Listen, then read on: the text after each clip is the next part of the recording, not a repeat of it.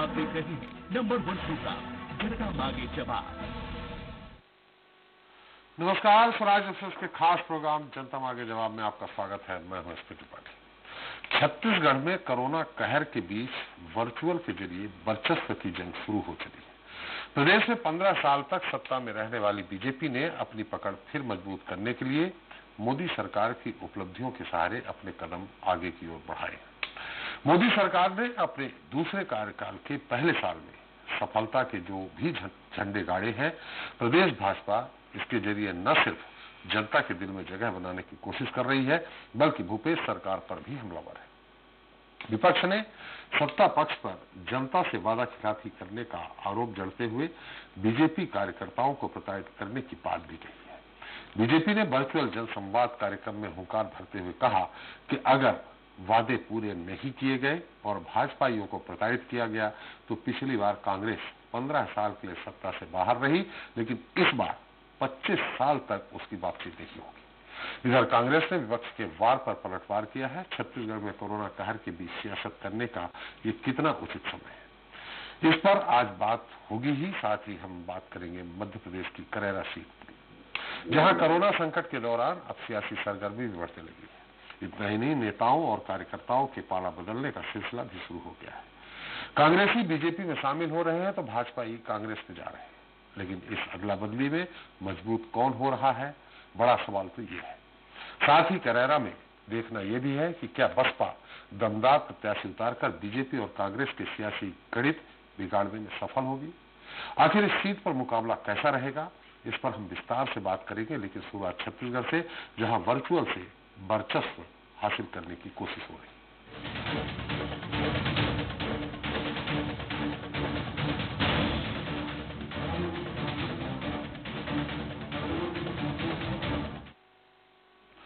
तो छत्तीसगढ़ में बीजेपी को नया नेतृत्व मिलने के साथ ही अब सियासत गर्माती जा रही है। आक्रामक विपक्ष की भूमिका में आने की कोशिश में जुटे बीजेपी के आला नेता अब अपने बयानों के ज़रिए भूपेश सरकार को घेरने की रणनीति पर काम करते नज़र आ रहे हैं।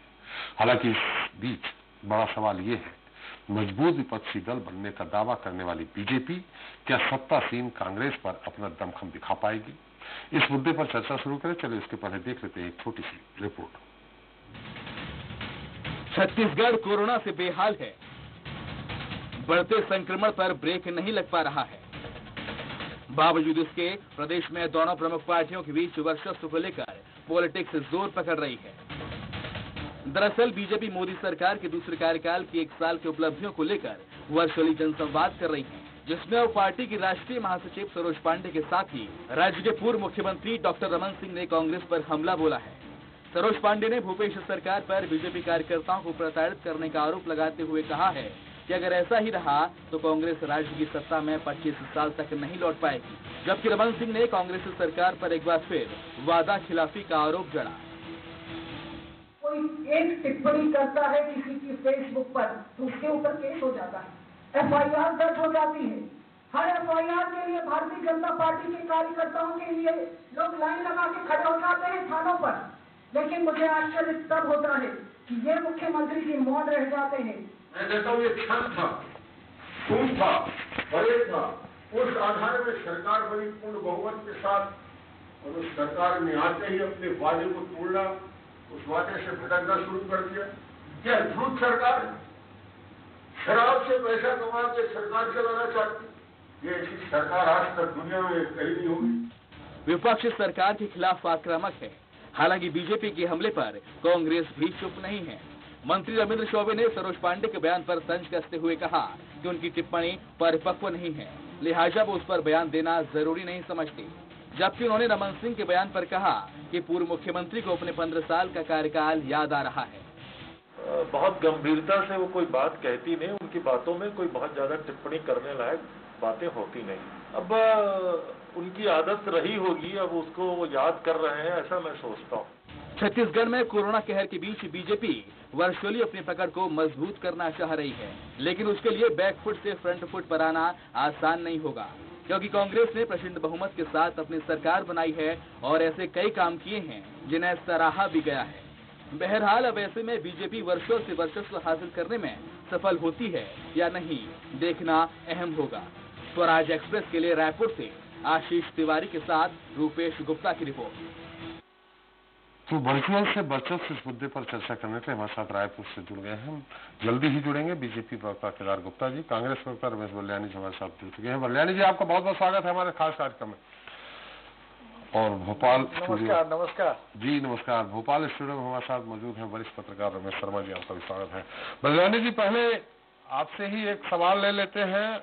सरोज पांडे जी ने फिर एक आप लोगों की तरफ़ गोली दागी है। उन्होंने कहा है कि आप लोग बीजेपी कार्यकर्ताओं को जिस तरह से प्रताड़ित कर रहे हैं तो उन्होंने जोगी सरकार की याद दिलाते हुए कहा कि जोगी जी ने जिस तरह से काम किया है, हालाँकि बीजेपी वाले हैं नहीं नहीं तो उनसे मैं पूछता कि जोगी जी के नाकामियों के बल पे पंद्रह साल रहे या रमन सिंह के उपलब्धियों के? लेकिन आपसे सवाल है कि उन्होंने कहा है तो ऐसा क्यों हो रहा अगर कहा है तो कुछ कुछ सच्चाई होगी। भूपेश सरकार बीजेपी के कार्यकर्ताओं को पहचान पहचान कर उन पर मामला दर्ज करवा रही है।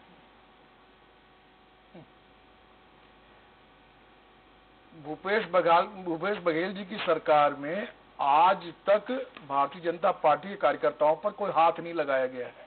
जी। लेकिन भारतीय जनता पार्टी को रमन राज के दमन वाले कार्यों को याद करना चाहिए। जी। बिलासपुर में कांग्रेस पार्टी के कार्यालय में जो हमारे कार्यकर्ता रामधुन गा रहे थे पुलिस ने घुस के निकाल निकाल के पीटा उनको। जी। झीरम घाटी में झीरम घाटी वाले कांड में कांग्रेस पार्टी के प्रथम पंक्ति के नेताओं को मरवा दिया। जी।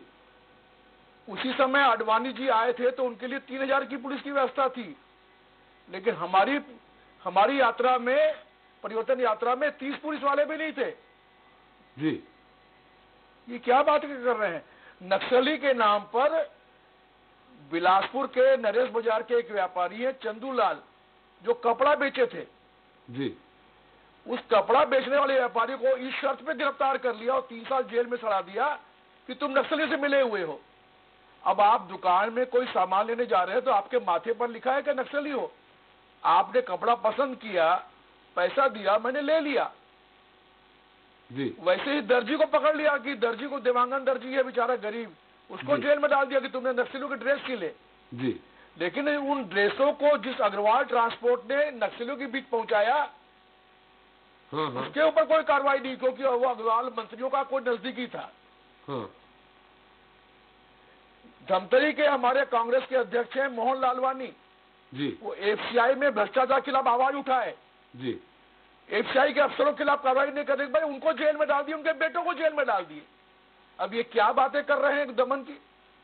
वही तो कह रहे हैं कि अब आप वही काम कर रहे हैं। अगर उनने गलत किया तो चले गए। आप दो तिहाई बहुमत तीन चौथाई बहुमत से आप आ गए। अब आप वही काम कर रहे हैं। त्रिपाठी जी हमको वो काम करने की आवश्यकता नहीं हमको फुर्सत ही नहीं इन सब कामों के लिए। जी। भूपेश बघेल सरकार अपने घोषणा पत्र के वादों को पूरा करने में लगी हुई है। जी। और आज भी भारतीय जनता पार्टी को चुनौती नहीं है। जनता ने उनको रिजेक्ट कर दिया तब तो पंद्रह में सिमट गए हैं।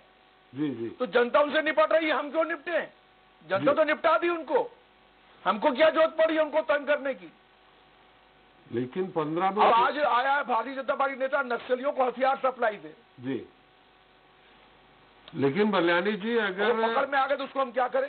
छह महीने बाद ही जो लोकसभा चुनाव हुए हैं उसमें अगर विधानसभा के अनुसार आंकड़े निकाले जाएँ तो उल्टा हो गया है। उतनी ही सीटों पे उनको बढ़त हासिल हुई है 67 सीट पे। त्रिपाठी जी आपको भी पता है कि इन्होंने छद्म राष्ट्रवाद के नाम पे उग्र राष्ट्रवाद के नाम पर जनता को भरमाकर चुनाव जीत हासिल की है। जी। पिछले पाँच साल में मोदी जी ने कुछ नहीं किया एक साल में मोदी जी ने कुछ नहीं किया। कोरोना के पहले देश की अर्थव्यवस्था मंदी में समाप्त हो चुकी थी। हम्म, और इन्होंने बड़े कॉर्पोरेट सेक्टर को एक लाख छियालीस हज़ार करोड़ का कॉर्पोरेट टैक्स माफ़ी का पैकेज दिया था। हाँ। लेकिन कोरोना काल में इन्होंने आम आदमी के लिए कोई पैकेज नहीं दिया। यानी हिंदुस्तान के तेरह लाख कंपनियों को एक लाख छियालीस हज़ार करोड़ रुपया। हम्म, और देश के 24 करोड़ जो प्रवासी श्रमिक हैं उनके लिए दो लाख रुपया वो पाँच पाँच सौ रुपया डाला बैंक में। वो राहत है। तो इनका एजेंडा जो है वो पूंजीपति है। आम आदमी गरीब आदमी से इनको कोई मतलब नहीं है। क्या उनका एजेंडा छटपटा रहे हैं सत्ता में नहीं है। सत्ता सत्ता में नहीं रहता तो आदमी केवल छटपटाते ही है। है भ्रम पैदा करो। केंद्र में आप छटपटा रहे हैं राज्य में वो छटपटा रहे तो हैं से कम मानसिक केंद्र में आप छटपटा रहे हैं राज्य संतुलन तो न रहे हैं। खोए ना। जी। लेकिन हम अपना बैलेंस नहीं बिगाड़ रहे हो तो मानसिक संतुलन बिगाड़ रहे हैं अपना। अरे कोई भी आरोप लगा रोज आरोप लगा देते हैं। पिछले दिनों कहा कि हम तनख्वाह नहीं दे पाएँगे। तीस परसेंट सैलरी घटा रहे हैं। इस तरह झूठ और भ्रम फैलाने से क्या फ़ायदा है?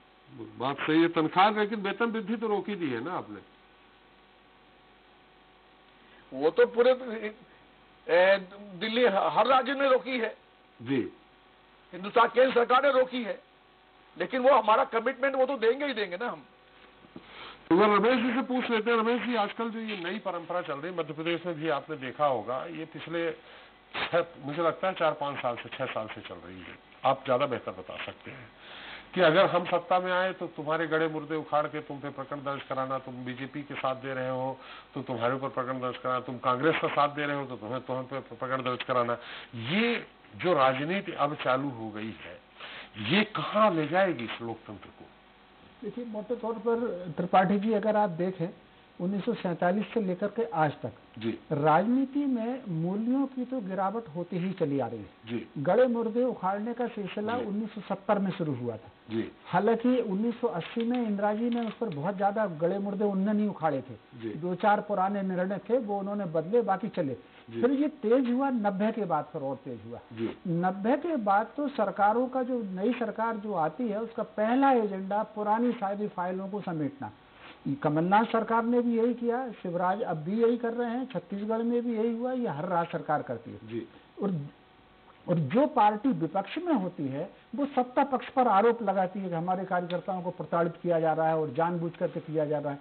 पहले ये आरोप कांग्रेस लगाती थी अब ये आरोप छत्तीसगढ़ में भाजपा लगा रही है। मध्य प्रदेश में ये आरोप पहले भाजपा लगाती थी अब ये आरोप कांग्रेस लगा रही है। तो ये कुछ चीज़ें राजनीति का चलन इसलिए हो गया है उसका कारण यह है कि राजनेताओं को अब स्टडी पढ़ना, तथ्यों को निकालना, जनता से जुड़ करके उसकी समस्याओं को समझ करके बात करना, ये आदत ना तो बची है और ना उनके पास अब वक्त बचा है। अब विधायकों को, सांसदों को इतने लोग घेरे रहते हैं कि उनको पढ़ने का, लिखने का कोई मौका नहीं मिलता। विधानसभा की लाइब्रेरी में विधायक नहीं जाते तो उनके पास अब स्टडी बची नहीं। दूसरा, जब से इलेक्ट्रॉनिक मीडिया आया है तब से राजनेता कुछ ऐसे मुद्दे उठाते हैं कि सुर्खियाँ बने मीडिया में सुर्खियाँ बने। इस नाते ये आरोप प्रत्यारोप की त्रिपाठी जी राजनीति शुरू हो रही है। मतलब अगर राजनीति का उनके जो लोकतंत्र है उसका अवमूल्यन हो रहा तो उसमें इलेक्ट्रॉनिक मीडिया का दोष है कहीं ना कहीं। जो मुझसे पूछा आपने? जी सर, मैंने ऐसी मैंने देखिए तो संस्थाओं का गिरावट आ रही है। जी जी जी जी जी। आज केदार जी आ गए हैं बरलियानी जी लगता है वो फ़ोन लाइन पे हैं। आपके सामने बैठने की हिम्मत नहीं कर रहे लगता। केदार जी आपका बहुत बहुत स्वागत है। नमस्कार। क्या क्या बात है? बरलियानी जी के सामने बैठने की हिम्मत नहीं कर रहे क्या आप? हालाँकि आप जैसे ओजस्वी वक्ता फ़ोन पे आए ये अच्छा नहीं लगता। नहीं ऐसा है त्रिपाठी साहब की आज यहाँ जो आपका आ, आया है लाइव के लिए मशीन वो मशीन में थोड़ा टेक्निकल फॉल्ट आ गया अरे नहीं नहीं मैं वापस ले लेता हूँ आप तो हमारे ऊपर ही डाल दिए। नहीं हम और आप अलग अलग नहीं हैं। एक ही एक ही हैं दोनों और वो टेक्निकल मिस्टेक है उसमें आप और मैं दोनों कुछ नहीं कर सकते। और ईश्वर की ऐसी इच्छा होगी कि इतना झूठ बोलने वाले और इतने भ्रष्टाचारी लोगों के सामने आज केदार नहीं बैठे। वो टाइम में आ जाए तो शायद मालिक की इच्छा होगी इसलिए ऐसे बैठ गया। वैसे भैया हम सबके मार्गदर्शक हैं वरिष्ठ हैं। जी। हमेशा उनका प्रेम मिलता रहता है। जी। सवाल हमारा केदार जी आपसे ये है कि आपके आज भविष्य वक्ता नेत्री जी हैं। उन्होंने इसके पहले एक भविष्यवाणी की थी कि सरकार बहुत जल्दी गिरने वाली है आयु बहुत कम है भूपेश सरकार की। आज एक और उन्होंने भविष्यवाणी कर दी है कि 25 साल बीजेपी नहीं आएगी 15 साल नहीं आई। तो उन्होंने एक चीज़ और कही थी कि जोगी जी की जो नाकामियाँ थी उनके कारण 15 साल नहीं आई। तो हमारा सवाल आपसे ये है कि जोगी जी की जो नाकामियाँ ढाई साल में रही हैं या आप हिटलर शाही कह सकते रही हैं उसके कारण पंद्रह साल आप रहे सत्ता में या रमन जी की उपलब्धियों के चलते सत्ता में रहे? नहीं जब शासन आया तो निश्चित रूप से अजीत जोगी जी की हिटलर शाही थी और बहुत सारे नियम उन्होंने ऐसे जन विरोधी बना दिए थे जनता जिन्हें स्वीकार नहीं कर रही थी धान को पानी में डुबा डुबा कर लेना। और अनेक ऐसे थे उद्योगपति, व्यवसायी, इन लोगों पर बहुत टेढ़ी नज़र थी। और इसके कारण भारतीय जनता पार्टी पहली बार सत्ता में आई और एक सौम्य चेहरा सरल, चेहरा प्रदेश अध्यक्ष के रूप में डॉक्टर रमन सिंह जी का था। उसका भी प्रभाव था। फिर डॉक्टर रमन सिंह जी की कार्यशैली के कारण लगातार यहाँ कृषि के क्षेत्र में, उद्योग के क्षेत्र में, व्यापार के क्षेत्र में, महिला सशक्तिकरण में, बेरोजगारों को रोज़गार देने के अवसर में काफ़ी काम हुए और लगातार तीन टर्म तक छत्तीसगढ़ प्रदेश की जनता ने डॉक्टर रमन सरकार को भरपूर सहयोग दिया और इसलिए हम पंद्रह साल तक जनता की सेवा करते रहे। तो आपकी जो भविष्य वक्ता जो है आदरणीय नेत्री जी हैं जो सरोज पांडे जी हैं वो तो यही कह रही हैं कि जिस तरह से आप बीजेपी के कार्यकर्ताओं को भूपेश सरकार प्रताड़ित कर रही है उसके कारण वो आप 25 साल नहीं आएँगे। उनकी भविष्यवाणी कितनी सफल होगी? निश्चित रूप से ये भविष्यवाणी एक चीज़ को लेकर नहीं है। माननीय सुश्री सरोज पांडे जी का अपना आ, एक राजनीतिक लंबा अनुभव है और राष्ट्रीय महामंत्री हैं और अनेक पदों पर वो रही विधायक रही सांसद रही महापौर रही और राज्यसभा से भी सदस्य रही। तो उनका एक अपना अनुभव है और जो वो अपने राजनीतिक दृष्टि से देख रही हैं शायद वो कहीं सत्य साबित होगा ऐसा हम लोगों को भी महसूस होता है कि उन्होंने आज ये बयान दिया कल बयान दिया और आज कांग्रेस ने घोषणा कर दी कि निगम मंडल में राजनीतिक नियुक्ता होंगी। तो ये हड़बड़ाहट तो है उनके एक बयान से सरकार इतना बड़ा निर्णय ले रही है कांग्रेस की सरकार कि भाई जल्दी जल्दी नियुक्ता करो ये असंतोष जो है वो बाहर जाने लगा है लोगों को पता लगने लगा है विपक्ष के नेता इस बात की चर्चा करने लगे हैं। तो ये असंतोष को दबाने का पहला प्रयास कांग्रेस के द्वारा किया जा रहा है क्योंकि कांग्रेस पार्टी के बड़े नेता जानते हैं उनके यहाँ जो भट्टी अंदर तप रही है, वो ज़रूर नया गुल खिलाएगी। चलिए अभी बलियानी से बात हुई थी, बहुत संक्षेप में आपसे जाना। बलियानी जी ने कहा कि आप बिलासपुर से लेकर के, झीरम घाटी से लेकर के और उस व्यापारी तक को आपने तीन साल के लिए जेल में डाल दिया। जिसमें कोई भी खरीदार आया, उसको थोड़ी मालूम है कि नक्सलाइट है कि नहीं है। उसको आपने जेल में डाल दिया, उसने कपड़ा बेचा। तो ये सारे वो उदाहरण तो देते हैं लेकिन आप एक आध उदाहरण बता सकते हैं जिसमें आपका रंजिश बस किसी दुर्भावना बस उन्होंने आपके कार्यकर्ताओं पे झूठा मुकदमा झूठा लाठीचार्ज झूठा प्रकरण दर्ज किया हो।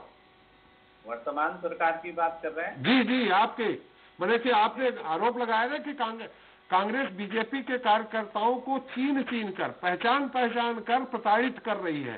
तो हम आपसे जानना चाह रहे हैं, दो चार उदाहरण बता सकते हैं, किसको प्रताड़ित किया है? बिल्कुल बिल्कुल बता सकते हैं। हम तो कह रहे हैं कि जब से आए हैं, बदलापुर की राजनीति कर रहे हैं। डॉक्टर रमन सिंह प्रदेश के मुख्यमंत्री थे। उनके ऊपर आरोप प्रत्यारोप से लगाते हैं, पर उनके दामाद, जो दामाद एक सम्मान का पद होता है किसी व्यक्ति के लिए, और अगर पूर्व मुख्यमंत्री है और उनके दामाद है तो सीधा उनके दामाद पर इन्होंने आते ही प्रहार किया। और लगातार जाँच और यहाँ तक गिरफ्तारी के आदेश और एफआईआर तक हुआ।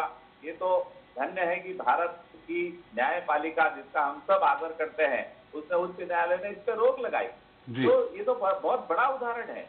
इस प्रकार की हरकतें एक पूर्व मुख्यमंत्री है उनके दामाद और उनके ऊपर एफआईआर फिर गिरफ्तारी और लगातार वो भाग रहे हैं। ये ये सारी चीज़ें समाचार पत्रों में देना मीडिया में देना ये कोई शोभा नहीं देता।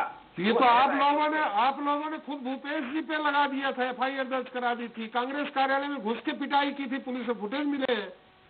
नहीं नहीं ये देखिए जो भी कार्रवाई हुई थी बिलासपुर में की बात जो आप कर रहे हैं भूपेश बघेल जी की माँ परिवार तक को नहीं छोड़ा था इन्होंने। वो घुसकर पीटा गया। वो किसी एक अधिकारी की मतलब मैं ये कहूँगा कि उनका ये स्वभाव नहीं था, पर स्वभाव के विपरीत जाकर और कानून को तोड़कर उन्होंने काम किया और उन्हें वहाँ से हटा दिया गया।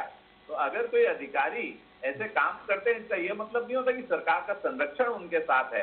अगर इस काम करने के बाद सरकार ने कोई कार्रवाई की तो ये मानना चाहिए कि कांग्रेस पार्टी के कार्यकर्ताओं के साथ जो अत्याचार हुआ था, उसमें भारतीय जनता पार्टी ने एक्शन लिया। ये एक दूसरे के साथ सिर्फ़ हटा देना काफ़ी था क्या? केदार जी हटा देना केवल काफ़ी था क्या? एक सिर्फ़ सिर्फ़ और डाला पिटाई कर डाली लोगों को लहूलुहान कर दिया और आपने हटा दिया। आपने उनके खिलाफ कोई इंक्वायरी चालू की? उनके खिलाफ कोई एफआईआर दर्ज कराया कि आपने गलत कानून हाथ में लिया? देखिए त्रिपाठी जी एफआईआर कराना कांग्रेस पार्टी के लोगों का काम था। भारतीय जनता पार्टी की सरकार ने उन पर ये गलत कार्य उन्होंने किया इसलिए वहाँ से उन्हें हटाया और शायद पीएचक्यू में लाइन हाजिर भी कर दिया था। परंतु दुख की बात है आप भारतीय जनता पार्टी की याद कर रहे हैं। अभी जब लॉकडाउन हुआ तो बिरगांव में एक थानेदार ने इस निर्ममता के साथ एक माँ के सामने उसके बेटे को छीन कर और माँ को ज़मीन में धक्का देकर पिटाई की और उसका सिर्फ़ ट्रांसफ़र दूसरे थाने कर दिया गया। और ये सिर्फ़ ट्रांसफ़र हुआ। कोई लाइन अटैच नहीं हुआ ना कोई सस्पेंड- सस्पेंड कर दिया भाई। बारे में कोई बात हुई। गुप्ता जी, सस्पेंड कर दिया उसको। और पीटना डंडों से खूब वीडियो वायरल हुआ। और निश्चित रूप से कांग्रेस के गुप्ता जी बलियानी जी बोल रहे हैं सस्पेंड कर दिया उनको। सस्पेंड कर दिया उनको। जी। सस्पेंड कर दिया तत्काल। नहीं सस्पेंड नहीं हुए।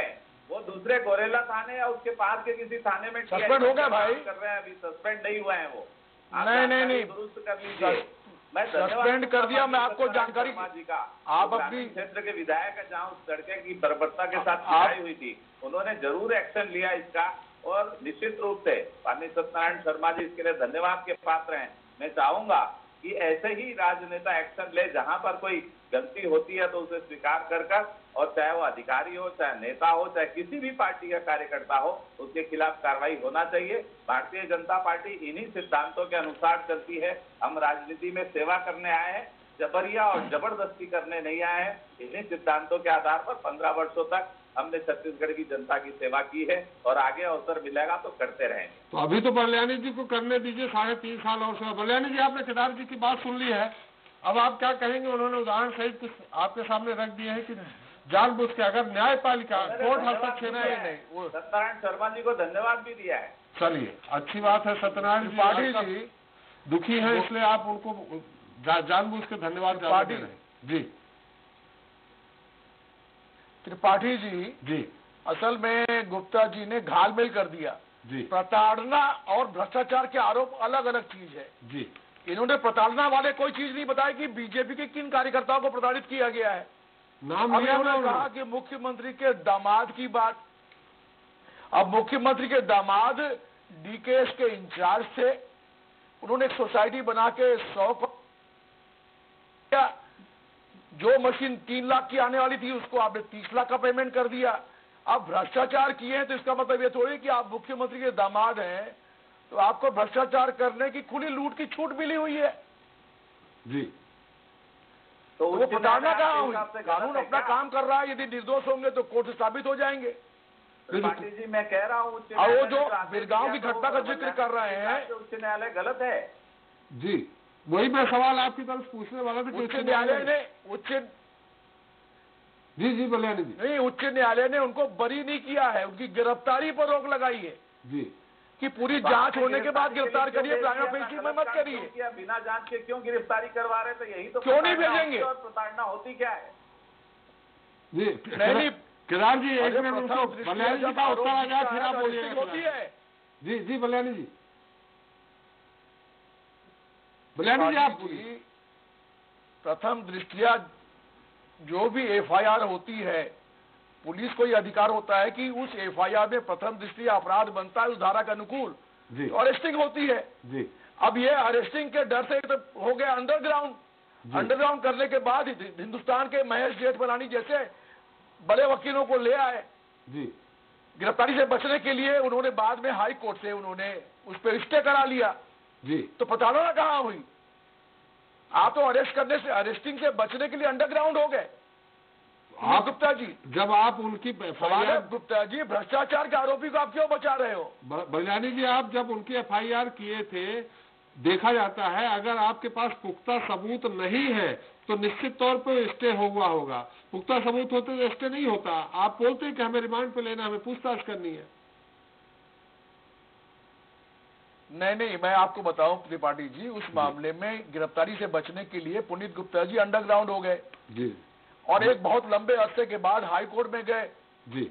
और एक बड़े वकील को खड़ा करके उन्होंने कहा कि कोरसिव एक्शन नहीं लिया जाए। जी। जब तक पूरा जाँच नहीं हो जाए। जी। अब पूरी जाँच के बाद जब हम चार्जशीट पेश करेंगे तब गिरफ्तारी होगी। जी। तो हाईकोर्ट ने उनको कोई क्लीन चिट थोड़ी दे दी। जी। चलिए एक एक ही उत्तर एक ही आपने उदाहरण दिया है गुप्ता जी एक आध दो और उदाहरण दे देते हैं और दे देते हैं जी। गौरी शंकर श्रीवास हमारा अब बिरगांव बिरगांव पच्चीस एक एक मिनट गुप्ता जी बिरगांव गुप्ता जी एक मिनट गुप्ता जी कुछ और बता रहे हैं बल्लानी जी जी। मैं एक एक उदाहरण है उसको तो बता दूँ। बिरगांव वाली घटना पर बता बल्लानी जी बल्लानी जी एक मिनट केदार जी एक और उदाहरण बता वाली घटना पर बल्लानी जी एक और उदाहरण बता रहे हैं उसको बता दीजिए। जी केदार जी। हमारे किसान मोर्चा के प्रदेश मंत्री हैं उनके ऊपर तीन बार, वो थाने गए एफआईआर करने, किसी सड़क दुर्घटना को लेकर तो पता चला वो भाजपा के तो उन्हीं के ऊपर एफआईआर हो गया तेली बांधा थाना रायपुर में। फिर एक जगह वो घेराव के लिए गए, घेराव शांतिपूर्वक चल रहा था, पता चला जाकर उनके ऊपर उत्साह उपद्रव करने का की धारा लगा दी और एफआईआर हो गया। तो फेसबुक पर उन्होंने कोई कमेंट लिखा जो कि किसी भी धर्म के लिए नहीं था, विपरीत नहीं था, पर उसके लिए फिर से उनको पुलिस का नोटिस आ गया। दिन रात यही काम तो हो रहा है। और क्या काम क्या हो रहा है? पुलिस और क्या कर रही है? इसके अलावा अरे गुप्ता जी। गुप्ता जी गुप्ता जी बयानी जी का उत्तर आने दीजिएगा। मेरे एक लाइन और कहना है त्रिपाठी साहब। जी एक ही लाइन लाइन धमतरी के किसानों ने उच्च न्यायालय से कोई वकील बड़ा होता है? क्या उच्च न्यायालय से कोई पुलिस बड़ी होती है? क्या पुलिस बिना जाँच के गिरफ्तारी करने गई थी? और अगर पुलिस बिना जाँच के गिरफ्तारी कर रही थी तो खाली क्या एफआईआर करने से बल्याणी साहब बोल रहे हैं गिरफ्तारी होती है? तो क्या भारत का कानून यही कहता है कि अगर किसी के खिलाफ एफ़ आई तो बिना जी जाँच जी उसको जी का उत्तर आने दीजिए। जी बलियानी जी का उत्तर आने दीजिए। आपने बहुत सारे आरोप लगा दिए। जी बलियानी जी। गुप्ता जी पुनीत गुप्ता के मामले में आपको सही जानकारी नहीं है। उनके खिलाफ F I R F I R हुई थी। केदार जी केदार जी केदार जी प्लीज़ केदार जी प्लीज़ तो प्लीज़ प्लीज़ केदार जी बात तो आने दीजिए आप उनकी फिर आप उत्तर सुनने का साहस तो करिए।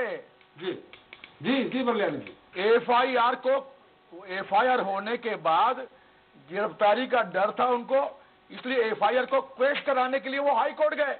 जी। तो एफ़ आई आर ने कहा कि कोरोसी एक्शन मत लीजिए पूरी जाँच के बाद एफ़ आई आर में जो आरोप है उसकी जाँच के बाद गिरफ्तारी होगी तब तक मत करिएगा। जी। गिरफ़्तार करे थोड़ी पुलिस उनके यहाँ पहुँच गई थी वो तो खुद ही डर गए। जी। एफ़ आई आर गलत है उसको उन्होंने चैलेंज किया था। और जो आप कह रहे हैं धमतरी के किसानों पर लाठीचार्ज किसने किया था? धमतरी के किसानों पर लाठीचार्ज किसने किया था आपकी सरकार के समय में? के पुलिस जाँच के आपने उनको फरार घोषित कैसे कर दिया था? क्या वो कोई अपराधी थे? अरे आप क्या अपराध हो गया था? गुप्ता तो जी, फरार घोषित कर दिया बदलाईपुर तो है नहीं तो और क्या है? गुप्ता जी एक बार सुन तो लीजिए अब उनकी भी बात सुन लीजिए आप अरे एफ़ आई आर सुनो। आपके खिलाफ एफ़ आई आर है। जी। एफ़ आई आर है यदि आप निर्दोष हैं तो आप एफ़ आई आर के लिए जो विवेचना होती है उस विवेचना में उपस्थित क्यों नहीं होते हैं? बयान देने के लिए एक बार गए थे वो। उपस्थित नहीं होते इसका मतलब ये है कि आप मान रहे हैं अपराध है। बयान देने विवेचना में कोई अरेस्टिंग नहीं होती है। आप तो इसलिए डर गए क्योंकि आपने अपराध किया था। रिक- रिकॉर्ड बोल रहे हैं चार्टेड अकाउंटेंट बोलता है कि जो चार गुप्ता जी ने ऑडिट रिपोर्ट पेश की है उसमें दस्तखत मेरी नहीं है उसमें जाली दस्तखत है। जी। अब बताइए सौ करोड़ रुपए का आप घोटाला किए हैं उसकी ऑडिट रिपोर्ट भी फर्जी दे रहे हैं। और आप गुप्ता जी बोलते हैं कि पुनीत गुप्ता हाईकोर्ट ईमानदार थे हैं मुख्यमंत्री के। दामाद थे कार्रवाई नहीं करना चाहिए। मतलब मुख्यमंत्री का दामाद होना मतलब अपराध से उनको क्लीन चिट मिलना चाहिए ये आप कहना चाहते हैं। मैं कह रहा हूँ आप हाई कोर्ट को चैलेंज कर रहे हैं बार बार। इसमें हाई कोर्ट को हाई कोर्ट को चेंज नहीं कर रहे हैं। हाई कोर्ट आप आप ऑर्डर पढ़ लीजिए। हाई कोर्ट अरे अवमानना वाली बात नहीं है। हाई कोर्ट का हम पूरा सम्मान करते हैं। कर हाई कोर्ट ने कहा आप लोगों जाँच करिए फिर गिरफ्तारी करिए और बार बार आप प्रेशर कर रहे हैं कि मुख्यमंत्री का दमाद है। ऐसा नहीं है, हाँ। चाहिए। हम ये मांग हमने ऐसी मांग कभी नहीं की। आपको जो कहना है वो कहते रहिए राजनीतिक रूप से। हमारा स्पष्ट मामला है कि आप प्रताड़ित ऐसा है। हैं प्रताड़ित कर रहे हैं और प्रताड़ित करते रहते हैं। जी, और आप- भारतीय जनता पार्टी के कार्यकर्ता इससे विचलित होने वाले नहीं है। चलिए चलिए अब उनको तो बोल लीजिए मलयाली जी को। लेकिन आप ये तो बोलिए अपने जो भविष्यवक्ता नेत्री जी है कि ऐसे कुछ कुछ बयान वो क्यों दे रही है कि आप लोग सफ़ाई देनी पड़े? मैंने कहा कि भट्टी जल रही है अंदर अंदर वो उनको दिखाई पड़ रहा है। भट्टी उनको नहीं दिखाई पड़ रही बाद आपको पड़ रही है? हाँ उनके बयान आने के बाद घोषणा होती कि निगम मंडल में नियुक्तियाँ होगी। जो तो- कांग्रेस के अंदरूनी असंतोष को दिखाता है। तो चलिए ऐसा करिए इसका भी जवाब सुन लीजिए इसका भी जवाब सुन लीजिए। जी जी जी। इसका जवाब सुन लीजिए। जी। ये निगम मंडल का मामला बहुत दिनों से पेंडिंग था। जी। नगर निगम और पंचायत चुनाव कारण वो टल गया। जी। अभी मुख्यमंत्री भूपेश बघेल जी ने कहा था कि विधानसभा सत्र होने के बाद निगम मंडल में जो अध्यक्ष उनको उनका चयन किया जाएगा। फिर कोरोना संकट आ गया। जी। कोरोना संकट के कारण उसको थोड़ा डिले हो गया। जी। अब ये समझ रहे हैं कि हम इनकी धमकी चमकी से ये कर रहे हैं। हमारे पास अटूट हम अपने काम के मामले में जो घोषणा पत्र किया है वो तो पूरे देश फैल गया है तो अकेले छत्तीसगढ़। की नाकामी वजह से फैल गया। अरे दिल्ली राजधानी का देखिए जी जी। लेकिन बल्याणी जी आप श्रमिकों के मामले को लेकर जो कोरोना को लेकर अगर कहते तो साल से मैं ना लेकिन जो केंद्र सरकार की नीति थी उसका नतीजा निकला है। कोरोना तो केदार जी 2022 तक केदार जी। कह रहे हैं कि कोरोना के कारण रुके थे मैं पंद्रह पंद्रह में सिमट गया उसके बाद। आप कह रहे थे कि कोरोना के कारण अरे रस्सी जल तो गई अटन नहीं गई पंद्रह तक में पहुँच चुके हो। ये कैसे फिर आगे निर्णय ले रहे हैं? थोड़ा रुक जाए भाई। कोरोना को देखे ऐसी या क्वारंटाइन सेंटरों की हालत भाई अभी निगम अभी निर्णय चलिए चलिए एक बार बल्याणी जी लेकिन लिया गया। लेकिन बल्याणी जी आप सरोज जी को आप लोग धन्यवाद दीजिए। वो इस तरह से कुछ बयान और देते रहे आप लोग इतने लंबे समय से कांग्रेस के लिए लड़ते रहे हैं विपक्ष में भी और अभी भी लड़ रहे हैं। तो उनके बयान के कारण अगर हमारे आदरणीय कांग्रेस प्रवक्ताओं को जल्दी जल्दी कोई निगम मंडल के पद मिलने लगे तो आपको धन्यवाद देना चाहिए। ऐसा है उनके कारण पद नहीं मिले त्रिपाठी जी। जी। ये एक लगातार प्रक्रिया थी उसके कारण मिलेंगे। अरे प्रक्रिया तेज तो कर दी उनने। हमको सरोज पांडे की मेहरबानी नहीं चाहिए। प्रक्रिया तेज कर दी उनने। इसका कोई नहीं नहीं न सरोज पांडे की कोई चुनौती है न भारतीय जनता पार्टी की कोई चुनौती है यहाँ पर। जी जी जी जी। जनता ने इनको तो पंद्रह साल के कामकाज के आधार पर पंद्रह तक पहुँचा दिया। चला जा रहा है। जी। सौ हो गए लोग। कोरोना का तो केदार जी मत कहिए छत्तीसगढ़ अभी बहुत नीचे पायदान पे है जहाँ आपकी सरकारें हैं वहाँ तो थोड़ा देख लिया गुजरात सहित। सरकारों का मतलब कोरोना से नहीं है साहब। तो फिर क्यों आप भूपेश सरकार को क्यों दोषी दे रहे हैं? मैं कह रहा हूँ काम करना होगा। कोरोना के जो क्वारंटाइन सेंटर बने हुए हैं वहाँ पर सांप काट रहा है मधुमक्खी आ जा रही है। लोग सुसाइड कर रहे हैं खाने के लिए भोजन अरे कोई- अरे पत्तल नहीं है थाली नहीं है गिलास नहीं है। और एक दो घटनाओं को लेकर आप लोग जब अनर्गल प्रलाप करते हैं। छत्तीसगढ़ राज्य अकेला राज्य है। हिंदुस्तान में जहाँ कोरोना का पर नियंत्रण पाया गया। चलिए चाहिए निगम ये झूठ और भ्रम फैलाने की आदत बचाइए। केदार जी अगर किसी क्वारंटाइन सेंटर में सांप घुस गया उसको सांप को थोड़ी मालूम था क्वारंटाइन सेंटर है यहाँ नहीं जाना चाहिए। अरे इंटीरियर क्षेत्र में कोई क्वारंटाइन सेंटर क्वारंटाइन सेंटर है सांप नहीं आना चाहिए। कोई इंटीरियर क्षेत्र में इसके पहले में तो घरों में सांप घुसते रहे हैं। घर घर होता है क्वारंटाइन सेंटर क्वारंटाइन सेंटर होता है। दोनों हाँ। फ़र्क है। ये अलग बात है कि सांप को नहीं मालूम था कि आप लोगों को इतना बड़ा मुद्दा मिल जाएगा हम घुस जाएँगे तो। ऐसी बात नहीं है। अगर जनता की जान जाती है जी। और अकारण जाती है ये अरे ये बड़ा मज़ाक की बातें करते हैं गुप्ता जी थोड़ा गंभीरता से बात करिए। विपक्ष को सवाल उठाना सबसे ज्यादा- और मैं समझता हूँ जनता ये चाहती है कि हिंदुस्तान- लापरवाही हो तो विपक्ष अब उनकी आवाज़ उठाए। चलिए। समय हमारा समाप्त हो रहा है। आप, आप लोग भी चाहेंगे कि हमारे वरिष्ठ पत्रकार रमेश शर्मा जी इस पूरे बहस पर कोई कमेंट्स करें? देखिए रमेश। मोटे तौर पर दो बात है त्रिपाठी जी। जी जी। एक तो इसमें कोई शक नहीं कि सरोज पांडे जी की आरोप से कांग्रेस में कुछ अलर्टनेस तो आई होगी। क्योंकि जैसे गोवा में हुआ कर्नाटक में हुआ मध्य प्रदेश में हुआ या गुजरात में भी जो विधायक कुछ चले गए तो कांग्रेस में अलर्टनेस तो आई होगी और उनकी गति जल्दी आई। दूसरा जहाँ तक कहना चाहता हूँ सांप घुसने का तो मैं समझता हूँ कोरोना को लेकर के इंसान जितना परेशान हुआ हो सकता है सांप की नस्लों ने सोचा हो कहीं कोरोना हमको नागों को ना परेशान करे तो वो जायजा लेने गए होंगे क्वारंटाइन सेंटर में। ये इसमें घटना रही होगी। जी। चलिए गुप्ता जी अगली बार आमने सामने मिलेंगे फ़ोन के अलावा। और जो भी आपने उसके पहले कहा, वो सारे शब्द विलोपित होते हैं शुरू में जो कहा आपने। बहुत बहुत धन्यवाद गुप्ता जी आपका बल्याणी जी आपका भी हमारे साथ चर्चा में शरीक होने के लिए। तो छत्तीसगढ़ में बीजेपी वर्चुअल के ज़रिए वर्चस्व हासिल करना चाहती है। हालाँकि मोदी सरकार की उपलब्धियाँ गिराकर बीजेपी छत्तीसगढ़ में अपनी पकड़ मज़बूत कर ले, इसकी उम्मीद कम है। क्योंकि राष्ट्रीय स्तर के मुद्दे अलग होते हैं और राज्य स्तर पर अलग।